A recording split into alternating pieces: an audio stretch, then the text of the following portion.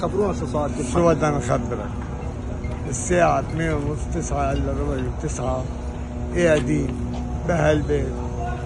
كله تمام. فجأة بيجي انذار إنه بدهم يضربوا الوزاعي وبدهم يضربوا مستشفى الساحي نحن عادة بنبلغوا انه وين المناطق؟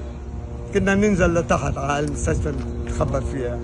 بس نحن ما لحقنا بلغونا، نتخبى. نحن ما بلغونا. ولاد نحن صغار. ما بلغوا بده ينضرب الحي. قالوا الاوزاعي والليلكي ومستشفى الساحل ليكون بمعلومكم. أنا الاولاد قالوا لي وصل على التليفون الاوزاعي والليلكي قلت لهم شو تعلمنا؟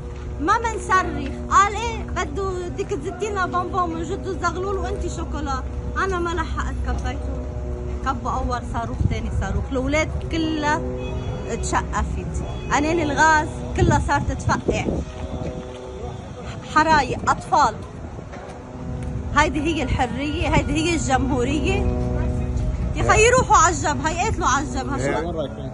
ما على المستشفى. كل الناس وقف حنوق أطفال؟ عندي أنا ابني أنا صابي. ابني بالمستشفى. يعني العينين فايقة وراح لي بنت إيه إيه ما هي انصابي أنا انصبت بس أنا ساعدت الأولاد لأنه قدامي الأولاد ماتوا ما, ما فيك تعملي لهم شيء إلا عم بي... الأولاد عم بيصلوا لربهم. الأولاد اتقطعت قدامي. الغاز عند العالم صار تحترق ما ما فيك تعمل لأنه أساسا ما تحذرنا نحن. يعني لا الصحافه اجت ولا يعني بعدين يعني ما حدا كان عارف هون بده يتم استهداف المنطقة والمنطقة كلها أطفال. مثل ما شايفي أنا ممثل وهو ممثل وأطفال وفي عجز. في شي أربع عجز وفي بنت من ذو الهمم أو من ذو الاحتياجات الخاصة.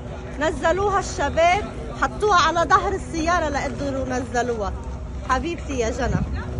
هيدا جنى عمرنا أطفالنا. بس حيرجع يجي بالرغم اطفال من إنه العدو الإسرائيلي لم لم ينذر بهذه المنطقة لأنها منطقة سكنية بحت. بحت.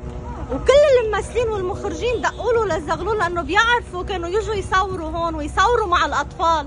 فهن كلهم تعجبوا منطقة أطفال. يعني هلأ إذا بتشوف أنا البيت هلأ بعد شوي بفرجيك.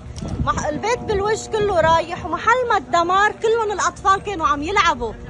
الأطفال كانوا قاعدين عم يلعبوا منشان نعلمناهم كيف يهدوا أعصابهم ويقروا قرآن لا أكثر ولا أقل. هيدا هيدا كنا متفقين عليهم حتى ما يصرخوا ما يصير عندهم أي شيء. حضرتك شو؟ أنا اسمي علا فهد عيد أنا ممثلة وفؤاد حسن الزغلول معروف. كمان ممثل